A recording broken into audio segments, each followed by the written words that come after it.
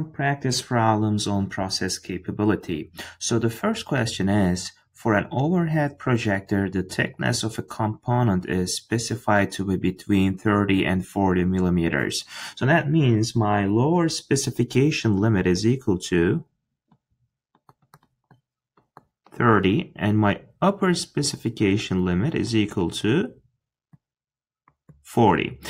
It says 30 samples of components yield a grand mean X of 34 millimeters. So X double bar, which is my grand average or grand mean, is equal to 34 millimeters. So the unit for specification limits are also in millimeters. Okay, and it says the standard deviation is 3.5. That's also in millimeters. It says calculate the process capability index. So one of the questions that I always get whether you should be using CP, which is the process capability, or CPK, which is the process capability index. When we gave the difference, when we provided the difference between those two, we mentioned that CPK gives a better picture. So it means you can use CPK for any given cases, whether your process distribution mean is equal to your design specification mean or not. Okay, so CP or CPK, CPK is applicable to all given cases or all given problems. So use CPK for all your problems. But when the distribution, when your process distribution mean is equal to the design specification nominal value or the mean, then you can also use CP2. But if you don't want to confuse those two terms, you can always use CPK and call it a day. Okay, so let's use CPK to solve this problem. The first step is we want to find the upper and lower limits, upper and lower capability limits. Your CP is equal to your, I'm sorry, not your CP, I meant to write CPU, your upper control limit is equal to upper specification limit minus mean divided by 3 sigma. And your lower capability is your mean minus lower specification limit divided by 3 sigma. And we know that our capability, which is CPK, is equal to minimum of your CPU or CPL. Okay, so whatever the minimum between CPU and CPL, that's the number for your CPK. That's the process capability figure that you would like to calculate. Okay, so upper specification limit is equal to 40 minus our mean is 34 divided by 3 times our sigma is 3.5 so upper specification limit turns out to be or the upper specification for process capability uh, turns out to be 0.57 uh, here our mean is equal to 34 and our lower specification limit is 30 divided by 3 times 3 times 3.5 and our specification limit for the lower portion is going to be equal to 0.38 so we just mentioned that if we take the minimum of those two numbers that's going to be our CPK so which one is less 0.38 is less. So our CPK is equal to 0.38. Okay, since CPK is less than 1, process capability is not at the desired level or is not acceptable or is not good.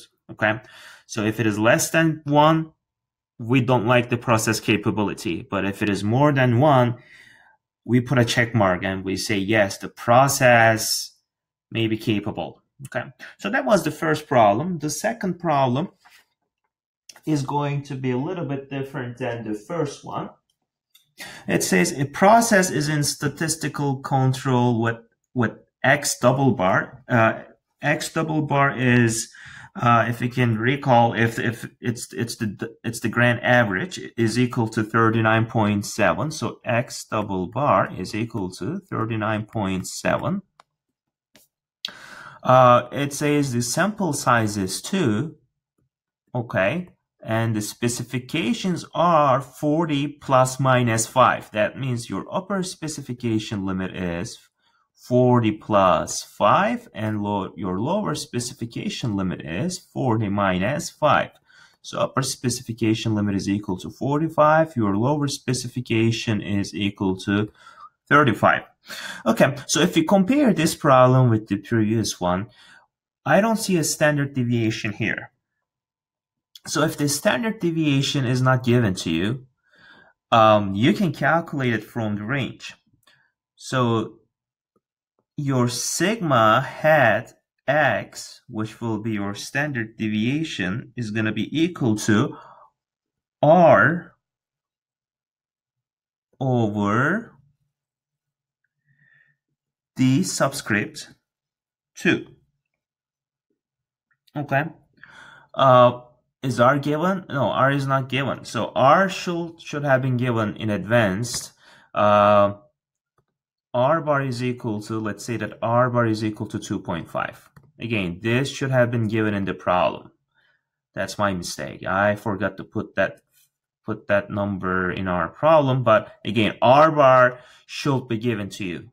Without without providing R bar, or without providing the standard deviation itself, you cannot calculate the process capability. But let's let's assume that we know what R bar is. So R bar is 2.5 and your D subscript 2, if you if you look up the value on your constant table is going to be um 1.128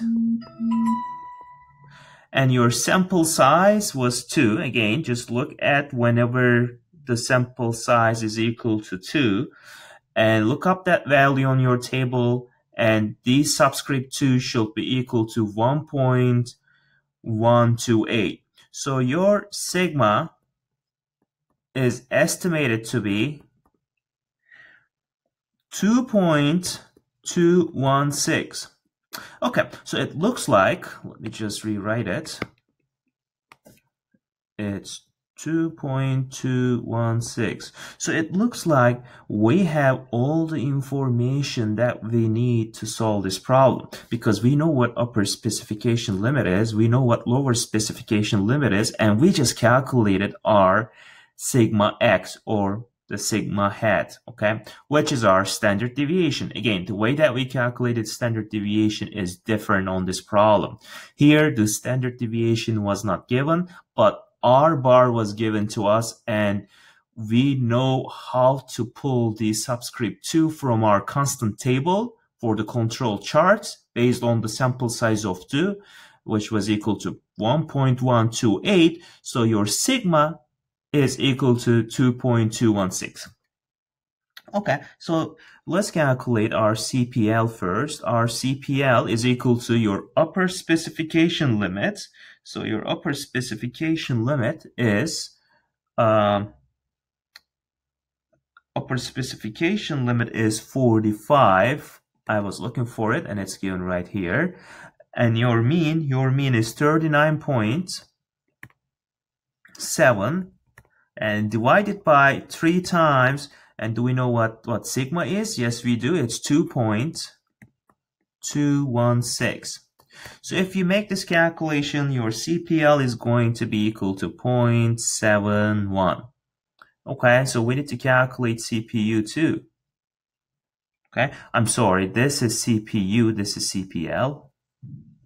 Okay, and your CPL is going to be equal to mean minus lower specification limit. So mean is 39.7 minus 35 and divided by 3 times 2.216 and if you make the calculation uh, your specification your process capability your your lower process capability is going to be equal to 0.8 and your CPK is the minimum between those two, right? Your, your, so your CPK is going to be 0.71. So since 0.71 is less than 1, we say that the process is not capable.